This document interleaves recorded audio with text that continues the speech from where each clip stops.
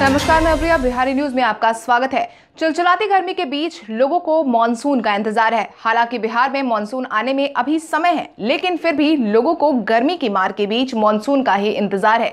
Lockdown के कारण भले ही लोग घरों में बंद हो, लेकिन गर्मी में घर से लेकर बाहर तक लोगों का बुरा हाल कर दिया है। आज की इस वीडियो में हम आपको बताने वाले हैं कि आखिर बिहार में मानसून कब दस्तक देने वाला है।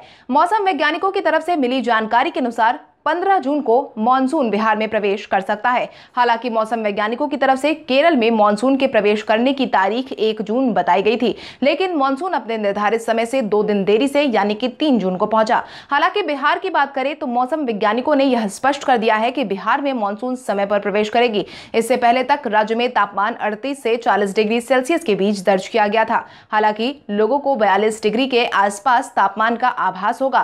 तापमान अत्यधिक बढ़ने के कारण दोपहर के बाद से ही गरजने वाले बादल बनेंगे। कुछ इलाकों में बारिश भी होती रहेगी। हालाँकि इस बार की बारिश थोड़ी कमज़ोर होने वाली है। मौसम वैज्ञानिकों ने इस बात की साफ़ संकेत दे दिए हैं कि मानसून की एंट्री तो समय पर होगी, लेकिन इस बार मानसून कमज़ोर नज़र आएगा। वही इस साल अगर प्री मानसून की बात की जाए तो सामान्य से करीब चालीस फ़ीसदी अधिक बारिश दर्ज की गई है, जिसमें चक्रवाती तूफ़ान का योगदान काफ़ी अधिक देखने को मिला। वहीं मौसम विभाग ने बताया कि मौसम में कभी भी परिवर्तन हो सकता है।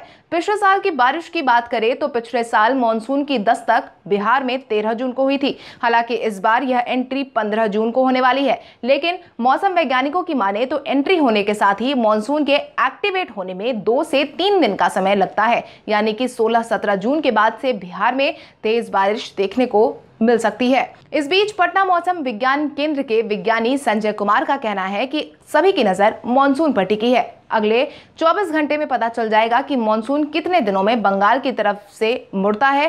फ़िलहाल प्रदेश में पश्चिमी हवाओं के कारण काफ़ी गर्मी और उमस है। ज़्यादा नमी वाले क्षेत्रों में आंधी के साथ बारिश भी हो रही है। पटना में स्थित मौसम विज्ञान विभाग के केंद्र ने बिहार के 12 जिलों के लिए 10 जून तक येलो अलर्ट जारी किया है। मानसून के बंगाल की तरफ़ मुड़ते ही बिहार और झारखंड में मानसून की बारिश शुरू हो पाएगी। राजधानी के वातावरण में फैली नमी और तेज धूप के कारण लोगों को काफ़ी परेशानी का सामना करना पड़ रहा है। ज़्यादा नमी वाले क्षेत्र में आंधी के साथ बारिश हो रही है। रविवार की ही बात करें तो कटिहार, भागलपुर, बांका, मुंगेर, खगड़िया, जमुई, किशनगंज, पूर्णिया, अररिया, मधेपुरा, सहरसा, सुपौल में बारिश हुई, जिसके बाद ही इन जिलों के लिए मौसम विज्ञान केंद्र ने येलो अलर्ट जारी कर दिया है। इसके साथ ही हम उम्मीद करते हैं कि जल्द ही मानसून बिहार में भी दस्तक दे दे। फ़िलहाल गर्मी ने लोगों का बुरा हाल कर रखा है। लगातार चल रही पछिया हवा के कारण उमस भरी स्थिति उत्पन्न होती नज़र आ रही है। इसके साथ ही आज के इस वीडियो में बस इतना ही। तब तक के लिए धन्यवाद।